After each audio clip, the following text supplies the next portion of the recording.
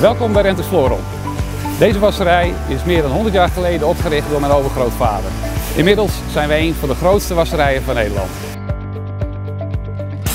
Wij wassen en leasen textiel voor ziekenhuizen en zorginstellingen. Samen met 500 collega's verwerken wij meer dan 7000 kg wasgoed per uur.